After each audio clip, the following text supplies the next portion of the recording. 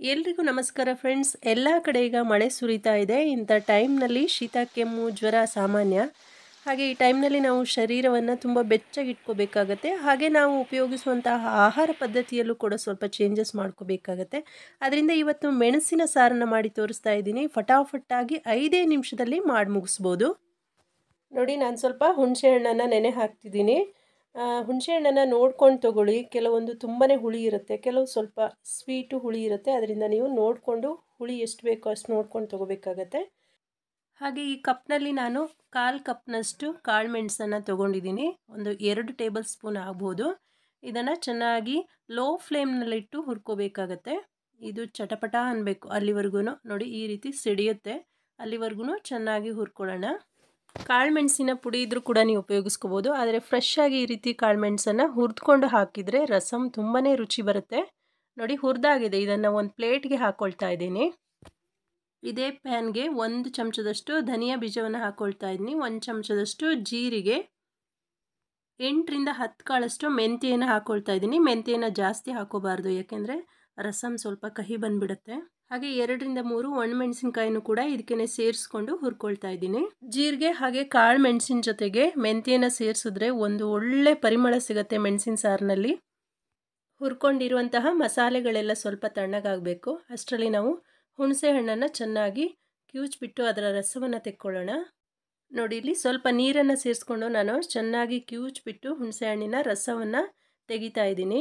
ನಾವು ಎರಡರಿಂದ ಮೂರು ಬಾರಿ ನೀರನ್ನು ಸೇರಿಸಿ ಚೆನ್ನಾಗಿ ಕಿವುಚಿ ರಸವನ್ನು ತೆಕ್ಕೊಳ್ತಾ ಇದ್ದೀನಿ. ನೀರನ್ನು ಕೂಡ ಇದಕ್ಕೆ ನಿಮಗೆ ಎಷ್ಟು ಬೇಕೋ ಅಷ್ಟು ಹುಳಿಯನ್ನು ನೋಡಿಕೊಂಡು ಸೇರಿಸ್ಕೋಬೇಕಾಗತ್ತೆ.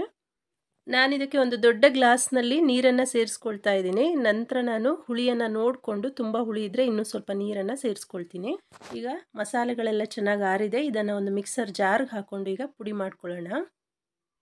ನೋಡಿ, ಇಲ್ಲಿ ತುಂಬ ನೈಸಾಗಿ ನಾನು ಪೌಡ್ರ್ ಮಾಡ್ಕೊಂಡಿಲ್ಲ. ಸ್ವಲ್ಪ ತರಿತರಿಯಾಗಿ ಮಾಡ್ಕೊಂಡಿದ್ದೀನಿ. ಈಗ ಹುಣಸೆ ಹಣ್ಣಿನ ನೀರಿಗೆ ಈ ಮಸಾಲೆ ಪುಡಿಯನ್ನು ಸೇರಿಸ್ಕೊಳ್ತಾ ಇದ್ದೀನಿ. ಟೇಸ್ಟ್ ನೋಡಿದಾಗ ನಂಗೆ ಸ್ವಲ್ಪ ಹುಳಿ ಜಾಸ್ತಿ ಅನ್ನಿಸ್ತು ಆದ್ದರಿಂದ ಇನ್ನೂ ಒಂದು ಗ್ಲಾಸ್ ನೀರನ್ನು ಇದಕ್ಕೆ ಸೇರಿಸ್ಕೊಳ್ತಾ ಇದ್ದೀನಿ. ಹಾಗೆಯೇ ಸ್ವಲ್ಪ ಕೊತ್ತಂಬರಿ ಸ್ವಲ್ಪ ಹಾಗೆ ಒಂದು ಎಂಟರಿಂದ ಹತ್ತು ಕರಿಬೇವಿನ ಎಲೆಗಳನ್ನು ಕೂಡ ಸೇರಿಸ್ಕೊಂಡಿದ್ದೀನಿ.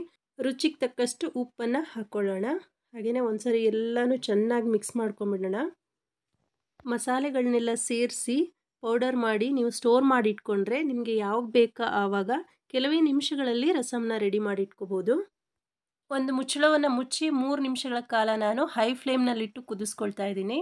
ಚೆನ್ನಾಗಿ ಕುದ್ದಿದೆ, ಈಗ ಇದಕ್ಕೆ ಸ್ವಲ್ಪ ಬೆಲ್ಲ ಹಾಕ್ತಾ ಇದ್ದೀನಿ. ಹುಣಸೆ ಹಣ್ಣಿನ ಜೊತೆ ಬೆಲ್ಲ ಹಾಕಿದ್ರೆ ರಸಮ್ ತುಂಬಾ ರುಚಿಯಾಗಿರುತ್ತೆ. ಆಪ್ಷನಲ್ಲು ನೀವು ಬೇಕಾದರೆ ಹಾಕೋಬೋದು, ಇಲ್ಲಾಂದರೆ ಸ್ಕಿಪ್ ಮಾಡ್ಕೋಬೋದು. ಎರಡು ಸ್ಪೂನಷ್ಟು ತುಪ್ಪವನ್ನು ಹಾಕ್ಕೊಂಡು ಬಿಸಿ ಮಾಡ್ಕೊಂಡಿದ್ದೀನಿ. ತುಪ್ಪದ ಬದಲು ಎಣ್ಣೆಯನ್ನು ಉಪಯೋಗಿಸ್ಬೋದು. ಸ್ವಲ್ಪ ಸಾಸಿವೆ, ಸ್ವಲ್ಪ ಜೀರಿಗೆ, ಸ್ವಲ್ಪ ಇಂಗು. ಎಂಟರಿಂದ ಹತ್ತು ಕರಿಬೇವಿನ ಎಲೆಗಳನ್ನ ಸೇರಿಸ್ಕೊಂಡಿದ್ದೀನಿ. ಹಾಗೆ ಸ್ವಲ್ಪ ಅರಿಶಿನೂ ಕೂಡ ಹಾಕ್ಕೊಳ್ತಾ ಇದ್ದೀನಿ. ಈಗ ಒಗ್ಗರಣೆ ರೆಡಿಯಾಗಿದೆ ಕುದಿಸಿಟ್ಕೊಂಡಿರುವಂತಹ ಮೆಣಸಿನ ಸಾರಿಗೆ ಒಗ್ಗರಣೆಯನ್ನು ಸೇರಿಸ್ಕೊಳ್ತಾ ಇದ್ದೀನಿ. ಈ ಮೆಣಸಿನ ಸಾರಿನ ವಿಶೇಷತೆ ಏನು ಅಂದರೆ ನಾನು ಎಲ್ಲಿಯೂ ಕೂಡ ಈರುಳ್ಳಿ ಅಥವಾ ಬೆಳ್ಳುಳ್ಳಿಯನ್ನು ಬಳಸಿಲ್ಲ. ನಿಮಗೆ ಇಷ್ಟ ಇದ್ದರೆ ನೀವು ಬೇಕಾದರೆ ಮೆಣಸಿನ ಸಾರಿಗೆ ಒಗ್ಗರಣೆ ಹಾಕ್ಕೊಳ್ಳುವಾಗ ಬೆಳ್ಳುಳ್ಳಿ ಅಥವಾ ಈರುಳ್ಳಿಯನ್ನು ಸೇರಿಸ್ಕೋಬೋದು. ತುಂಬ ರುಚಿಯಾಗಿರುತ್ತೆ ಫ್ರೆಂಡ್ಸ್. ನೀವು ಇದನ್ನು ಹೀಗೇ ಬಿಸಿ ಬಿಸಿಯಾಗಿ ಕುಡಿಬೋದು ಅಥವಾ ಬಿಸಿ ಬಿಸಿ ಅನ್ನದ ಜೊತೆಗೆ ಊಟ ಮಾಡ್ಬೋದು. ಇವತ್ತಿನ ಮೆಣಸಿನ ಸಾರಿನ ರೆಸಿಪಿ ಇಷ್ಟ ಆಗಿದೆ ಅನ್ಕೋತೀನಿ.